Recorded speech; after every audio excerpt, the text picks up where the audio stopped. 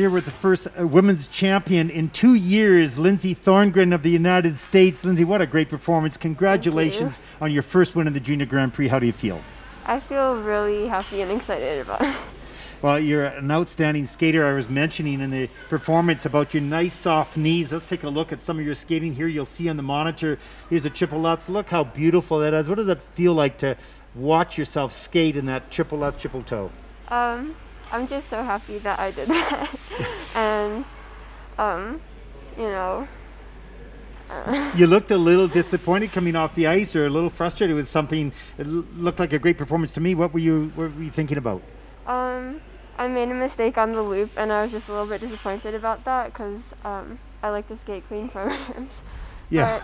But overall, I'm happy about it, and yeah. Well, you're a beautiful skater. Uh, what is it that you love most about the sport of skating, other than winning medals at the Junior Grand Prix? Um, just like being able to like skate and the flow of the ice, and I feel like I can express myself on the ice, and it's just like when I skate, it's just like me, and like yeah, it's fun.